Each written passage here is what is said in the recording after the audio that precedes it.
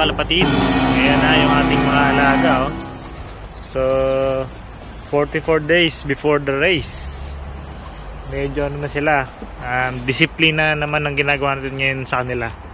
So, kailangan natin silang i-disiplina para syempre pagdating ng pinaka main na karera hindi tayo mahirapan. Teka lang ha, lagay lang natin itong kortina. So ayan na yung mga disiplinado nating kalapati. Good morning mga kalapatids. Ayan na yung ating mga kalapate, no? 44 days bago yung karera. So ang sinasanay natin ngayon sa kanila ay ang disiplina. So ang gagawin natin ngayon, paparondahin natin sila pagbaba. Pasok agad sana kasi kahapon busog sila. Papapasukin natin and then ronda kain ay ronda pasok at kain. So yun yung kanilang disciplinary action today. So ayan, ronda muna. Ayan na. 44 days na lang hinihintay natin mga kalapatids. Pero okay naman, diretso ronda na sila kung napapansin nyo. At uh, may mga naiwan tayo doon, yung nakalimlem, syempre hindi lilipad yan. Pero si Pogi, ayan, no, mukhang lalabas na rin. Hindi pa siya sanay sa routine eh, kasi dito sa kabilang pinto lumalabas yung mga ibon tapos doon sila papasok sa kabila. So ayan. At paronda lang tayo muna ngayon. Ayan sila rumoronda. So hintayin lang natin. Mga 10 minutes lang mababa na yan. Hanggang makondisyon na sila ng tuluyan para tumagal araw-araw. Ayun yung lumilimlim mukhang lilipad din oh. ayun. Ayan. Para makapag-exercise. Very good. So ayan. Mukhang effective. Sama na natin si Pogi. Hindi pa niya alam yung exit eh sa entrance siya may exit ayan o oh. yes, mama ka na pogi. Para maka-exercise ka na rin. Yan para baka sakali naman pakinabangan siya this year. Para sa 1,200 so ayan mga kalapatids okay. Kasi hindi ko sila makita dito. Ibig sabihin medyo lumayo. So si pogi ay ito pala. Ayan. So hayaan lang natin silang lumipad-lipad. Swerte na yan kung naka 10 minutes at uh, tayo naman, ang gagawin natin, igagayak na natin yung pagkain nila. Para pagdating nila, pasok agad, tapos kain. So, hintay muna tayo. Ayan lang sila, lipad lang ng lipad. Paronda nga tayo, gagayak naman natin yung kanilang pagkain. Ang ano ko lang dito, diskarte. Sara ko lang to. Ayan, sara natin lahat. Actually, tatapon natin yung tubig nila kasi hapon pa yan. Tinapon ko na. So simple lang, sinasara ko lang to. Tapos yung landing board nila, napakadali lang din ayan oh. So madaling board teka lang. Kapit lang ito, kakapit lang natin tong ating uh, map oh, yung pang map na stick. Map stick. Tapos yan na. Oh, meron na tayong landing board. Hindi pa nga nakagitna eh. So ayan, so gagawin ko naman ngayon yung pagkain nila habang sila lumilipad. 6 hours later. Mukhang sumobra sa ganda ng kondisyon yung mga kalapate natin na ba? 30 minutes na wala pa din.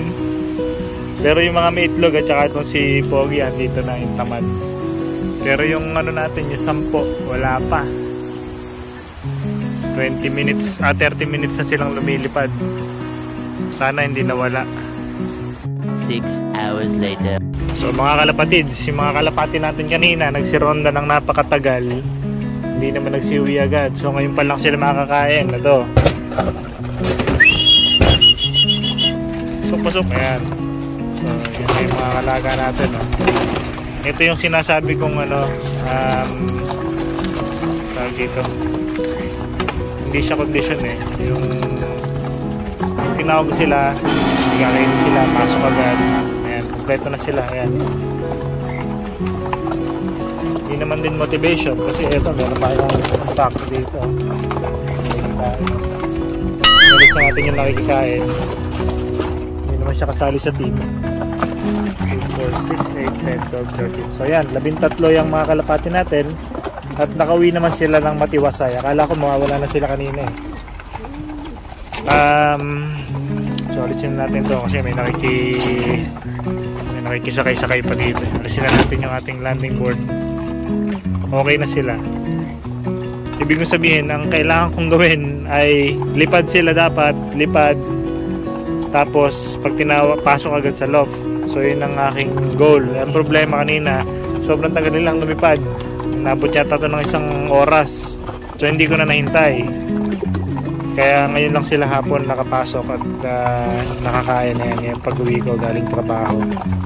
So, yan mga kalapatids. Okay na. Nagisimula na tayo. So, 44 days na lang. Karera na. At masaya ako kasi nga, rumoronda na sila ng ano, Malis ako kanina, 40 minutes na silang wala eh. So, very good yun, very good sign. 40 minutes na ronda. Napakagandang ano nun. Malayo sigurado narating ngayon. No? Kitang kita, hindi sila uminom dito kanina. Siguro sa labas yun nagsinom.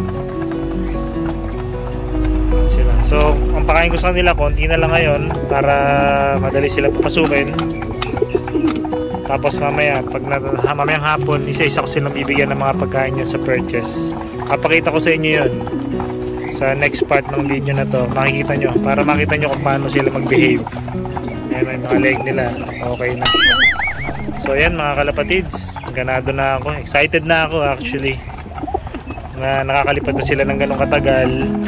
So ibig sabihin, isang magandang senyales na mukhang may mararating tong mga alaga natin. So ayan na sila. oh. Gaganda, kikinis na. Oh. So yung isa natin, ayan, upo na mga upo. May karera nga eh, malamang malaki chance na mabilis yun kasi lagi nakarelax, upo lang ng upo. So ayan, paubos lang natin yan mamayang gabi, mamayang hapon. Uh, isa-isayin natin silang bibigyan ng patoka dun sa purchase nila para mas lalo silang masanay sa akin at lalo nila ako makilala. So next part yun ng video natin. So ayan, mga busog na sila. Mamaya ulit ang pakain nila para hindi sila masyado nabigla. Para maganda ang panunaw. Parang barless itong isa natin. No? Pero kahit yan yan, rumonda siya ng napakatagal. Isipin natin.